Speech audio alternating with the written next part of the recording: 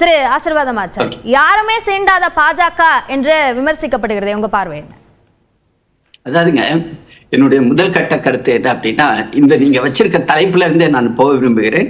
இந்த தேர்தல் வரும்பொழுதுதான் வந்து திமுக வந்து என்ன பண்ணுவாங்கன்னா ஆய்வு பணிகளை வந்து முடக்கி விடுவாங்க. அதே மாதிரி அதிமுக என்ன பண்ணுவாங்கன்னா கல ஆய்வு குழுன்னு அமைச்சு அதை பத்தி தீவிரமா யோசிச்சுட்டு இருப்பாங்க. எங்கன்னா ஏசி ரூம்ல உட்காந்து ஆனா எங்களை பொறுத்தவரை எங்களுடைய தேர்தல் இப்ப வந்து ஒரு உதாரணத்துக்கு சொல்றேன்னா இப்பதான் லோக்சபா தேர்தல் முடிஞ்சுச்சு. நாங்க அடுத்த லோக்சபா தேர்தலுக்கு ரெடி ஆயிட்டோம். ரெண்டு நாளுக்கு முன்னாடி தான் திரு அமித்ஷா அவர்களோட தலைமையில ஒவ்வொரு மாநிலம் அதிலும் குறிப்பாக எந்தெந்த மாநிலத்துல நாங்க வீக்கா இருக்கிறோமோ அந்த மாநிலங்களை டார்கெட் பண்ணி நாங்க எப்படி வந்து தேர்தலை சந்திப்பது அப்படின்னு இருபத்தி நாலு by seven twenty four by seven வந்து நாங்க வந்து வேலை செஞ்சுட்டு இருக்கோம் எங்களை பொறுத்தவரை எங்களுடைய திட்டம் அதாவது வந்து மத்திய அரசு மோடி அரசுடைய திட்டம் ஒவ்வொரு மாநிலத்துக்கும் சேர்ந்ததா? அதிலும் குறிப்பாக தமிழ்நாடு அந்த தமிழ்நாட்டு மாநிலத்துக்கு சேர்ந்ததா? அதை தான் நாங்கள் வந்து குறிப்பாக எடுத்துக்கொண்டு போய் மக்களிடம் நாங்கள் வைக்க இருக்கிறோம். நம்ம நண்பர் சொன்னார் இல்லைங்களா மனுஷபுத்திரன்? இவர் இந்தியா டுடேல வந்து அவர் பத்து இடத்துல வந்து திரு மு க ஸ்டாலின் அவர்களுக்கு வந்து இடம் கொடுத்துள்ளது அப்படின்னு. அதிலையும் குறிப்பாக அவர் சொன்னார் பார்த்தீங்களா அதாவது இன்வெஸ்ட்மெண்ட் பத்தி எல்லாம் வந்து அந்த இந்தியா டுடேல எழுதி இருக்குது அப்படின்னு. இவர் வந்து அமெரிக்கா போயிட்டு வந்தாரு மேடம் போயிட்டு வந்து கிட்டத்தட்ட ரெண்டு மாசம் ஆச்சு. அங்க போயிட்டு வந்துட்டு எந்தெந்த நிறுவனங்கள் இங்க வந்திருக்குது எவ்வளவு ரூபாய் முதலீடு அப்படின்னு வெள்ளை அறிக்கை கேட்டு எங்களுடைய தலைவர் கேட்டுட்டு இருக்காரு. இதுவரை வரவே இல்லை. ஏன் வரலனா இருந்தா தானே வரும். அதுதான் பிரச்சனை. எல்லாமே பேசிட்டு வந்திருக்காங்களே ஒரு நிமிஷம்,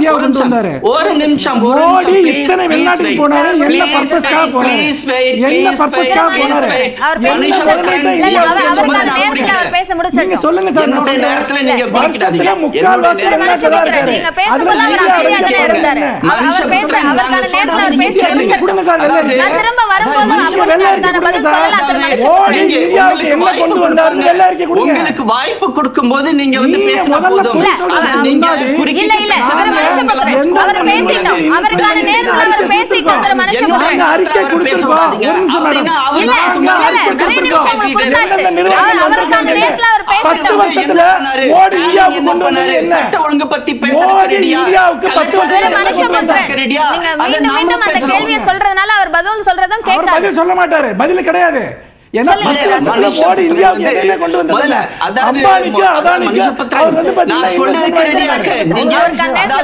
மனுஷபுத்திரன். ஒரு நிமிஷம். அதாவது கொஞ்ச நாளுக்கு முன்னாடி தான் அதானியோட வீட்ல இருந்து வந்து உங்களுடைய தலைவரோட குடும்பம் அந்த குடும்பத்தை பார்த்துட்டு போனாரு. கொஞ்சம் என்ன பேசுறாங்கன்னு சொல்லுங்க? பாப்போம்.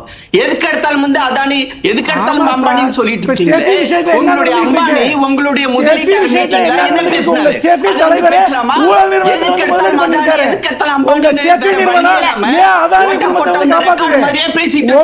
சேஃபி நிறுவனம் ஏன் அதானி காப்பாத்துறாங்க? அதாவது உங்க இல்ல, சேஃபி நிறுவன தலைவர் வந்து அதானியோட நிறுவனத்துல வந்து முதலீடு பண்றாங்க ஏன் பண்றாங்க இதே மாதிரி அதாவது முறைகேடுகளை திரு- திரு கண்காணிக்க மனுஷபுத்திரன், சேஃபி திரு நிறுவனத்துடைய மனுஷபுத்திரன். தலைவர் என்ன பண்றாங்க இது இது உங்களுக்கு திரு வெட்கமா இல்ல மனுஷபுத்திரன். இதை பத்தி இது வந்து பேசுறதுக்கு? திரு மனுஷபுத்திரன். இது வந்து தவறு இது வந்து போக்கு. நிறுவனத்துடைய தலைவர். கேளுங்க பண்ணாங்க? அடுத்து உங்களை பேச விடுங்க உங்களுக்கு தான் வாய் நீங்க இருக்குது, ரெண்டு பேர் செவிலியர் தலைவருடைய தலைவர் குடும்பத்தை எதுக்கு சார் வந்து பார்த்தாங்க? கேக்குறேன். எதுக்கு சார் வந்து பார்த்தாங்க? அதானி வீட்ல இருந்து? அதான் என்ன பேசினாங்க? கொஞ்சம் வீட்டுல- இல்ல, இல்ல, சொல்லுங்க நம்ம- சேஃபி நிறுவன நம்ம தலைப்புக்குள்ள தலைவர் வந்து எதுக்காக ஆக்கப்பூர்வமா அதானியுடைய விவாதிக்கணும்னு நான் நினைக்கிறேன். நிறுவனத்தை முதலீடு பண்ணாங்க? ஆனா, அது மனுஷபுத்திரன் சேஃபி குறிப்பிட்ட நிறுவன ஒரு தலைவர் எதுக்காக தலைப்புக்குள்ளேயே பண்ணாங்க? சொல்லுங்க பதில் அதாவது ஓட்ட போட்ட ஓட்ட போட்ட. திரும்பி பேசாதீங்க உங்களுக்கு வேற வழி இல்ல மக்கள் பார்த்துட்டு பச்சை இருக்காங்க. திமுக நடத்துற நீங்க இந்த? அல்ல திமுக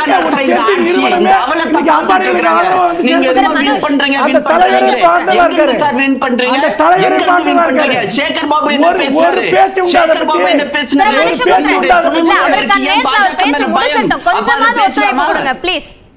ஒரு பேச்சு உண்டா அதை சேகர் பாபு பத்தி? என்ன பேசுறாரு திரு ஒரு மனுஷபுத்திரன், பேச்சு உண்டா அதை இல்ல, பத்தி? அவருக்கான நேரத்துல அவர் பாஜக பேசி மேல பயம். முடிச்சிட்டோம். அப்ப கொஞ்சமாவது அதை ஒத்துழைப்பு பேசலாமா? கொடுங்க ப்ளீஸ் திரு ஆசிர்வாதம் மேடம். நான் ஒத்துழைப்பு கொடுக்கறதுக்கு ரெடி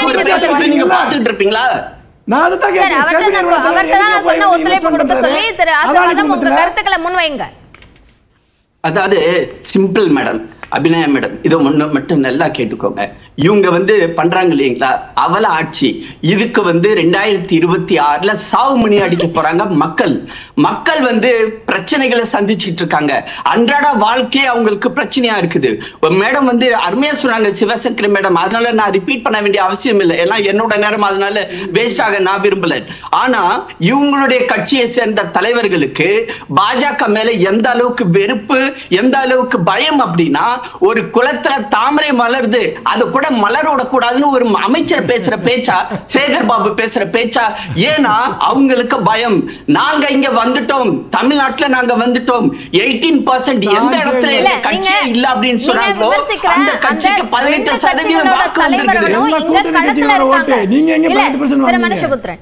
இங்க இருக்- நீங்க விமர்சிக்கக்கூடிய ரெண்டு கட்சிகளோட தலைவர்களும் களத்துல இருந்து பணியாற்றுறாங்க. ஆனா பாஜக தலைவர் களத்திலே இல்லையே. படிக்க எங்க தலைவருக்கு களத்தில் இல்லைன்னு யார் சொன்னது. யார் சொன்னது உங்களுக்கு? எங்களுடைய மாநில தலைவர் வந்து. அங்க இருந்தாலும் கூட தமிழ்நாட்டுல என்ன நடக்குது அப்படின்றது ஒவ்வொரு நாளும் அவருக்கு அப்டேட் போயிட்டு இருக்குது அவரும் எங்கள்கிட்ட பேசிட்டு இருக்காரு இன்னும் இருபத்தெட்டாம் தேதி வரும். வந்ததுக்கு பிறகு அவர் அங்க தமிழ்நாட்டுக்கு வரப்போறார். தீவிர அரசியல் அப்பதான் வந்து ஆரம்பிக்க போகுது. அதை மாதிரி எதிர்பார்த்து காத்துக்கிட்டு இருங்க. திமுக ஒரு சைடு அண்ணா திமுக ஒரு சைடு ரெண்டு பேரையும் நாங்க வந்து புறம் தள்ளி எங்களுடைய கூட்டணி எங்களுடைய கூட்டணி உள்ள பாட்டாளி மக்கள் கட்சி பாஜக அனைத்து கட்சிகளும் சேர்ந்து இந்த தேர்தலை நாங்கள் சந்திக்க இருக்கிறோம்? இந்த தேர்தல் இருபத்தி ஆறு திமுகவுக்கும் முடிவு உரை அண்ணா திமுகவும் ஒரு முடிவுரையை வந்து மக்கள் பார்க்க இருக்கிறார் திரு பிரியன் இப்போ மூன்று பேரும் அவங்களோட கருத்துக்களை முன் வச்சிருக்காங்க. களம் எப்படி போகுதுன்னு ஒரு மூத்த பத்திரிக்கையாளர் நீங்க எப்படி பாக்குறீங்க? இல்லை அதாவது வந்து ஸ்டாலின் அவர்கள் வந்து களப்பணியாற்றாரு கோவையில் போய் நிர்வாகிகளை சந்திக்கிறாரு தேர்தல் வேலைகளுக்கான முடுக்கி வரதெல்லாம் செய்கிறாரு ஒரு பதவியில் இருக்கிற ஒரு அரசியல்வாதி இந்த மாதிரி ஒரு அஃபிஷியல் பிஸ்னஸையும் கட்சி பிஸ்னஸையும் சேர்த்து கவனிக்கிறது வந்து இந்தியாவில் ஒன்றும் புதுசு கிடையாது. எல்லா மாநிலங்களையும் பிரதமர் முதற்கொண்டு எல்லாரும் பண்ணிட்டு இருக்கிற ஒரு விஷயந்தான் எல்லாருமே பண்ணுவாங்க. ஒரு அஃபிஷியலாக ஒரு வேலையை போட்டுன்னு போவாங்க கட்சி வேலையை பார்ப்பாங்க. இது எல்லா ஆட்சியிலையும் நடக்குது. அது ஒன்றும் பெரிய விஷயம் கிடையாது.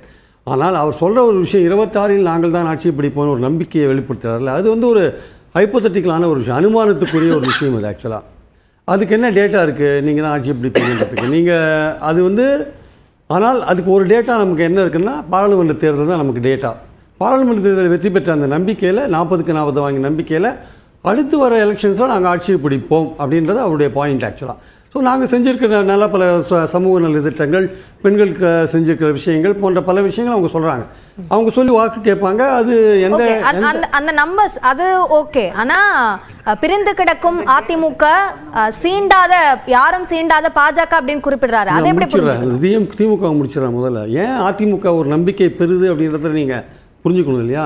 ஸோ இந்த மாதிரி பல நல்ல விஷயங்கள்லாம் திமுக செய்கிறாங்க அதை சொல்கிறாங்க ஓட்டு கேட்குறாங்க பெரும்பாலான பெண்களுடைய ஓட்டு வந்து திமுகவுக்கு போயிருக்குன்றது உண்மை. அதிமுகவில் இளைஞர்கள் அவ்வளோ இல்லை இளைஞர்கள் இல்லை அவங்களும் வேறு வேறு கட்சிக்கு ஷிஃப்ட் ஆகிருக்காங்கன்றது உண்மை. ஸோ இந்த மாதிரி சூழலில் வந்து பாராளுமன்ற தேர்தலுக்கு அப்புறம் நடந்த பல விஷயங்கள். பாராளுமன்ற தேர்தலே பார்த்தீங்கன்னா அதிமுக வைத்த விஷயம் என்னென்னா முழுக்க முழுக்க திமுகவை எதிர்த்து தான் அவங்க பிரச்சாரம் பண்ணாங்க. திமுகவை தான் அவங்க குறி வச்சு ஆக்கினாங்க. அந்த தேர்தலில் அவங்களுடைய பிரச்சாரம் எடுபடலைன்றது முக்கியமான விஷயம். இல்லை ஒரு இடத்துல அவங்க வின் பண்ணியிருக்கணும் திமுகவை பற்றி அவங்க சொன்ன குற்றச்சாட்டுகளுக்கு ஏதாவது ஒரு இடத்துல வின் பண்ணியிருக்கணும் அவங்க குற்றச்சாட்டுகள் எடுபடலை மக்கள்கிட்டன்றது தான் அதிகப்படியான விஷயம். ஆனால் பாராளுமன்ற தேர்தலுக்கு அப்புறம் பார்த்தீங்கன்னா அது கள்ளச்சாராய மரணமாகட்டும் ஆம்சாங்கோட விஷயமாகட்டும் வேறு பல சட்டம் ஒழுங்கு பிரச்சனைகள் ஆகட்டும் அப்புறம் வந்து மின் கட்டணம் உயர்வு சொத்து உயர்வு உயர்வு அப்புறம் மாதம் ஒரு மின் கட்டணம் தேர்தல் வாக்குறுதி நிறைவேற்றாதது பல விஷயங்கள் இப்படியே இவங்க அடிக்கிறாங்க இல்லையா? அந்த மாதிரி விஷயங்கள்லாம் நிறைய இருக்குது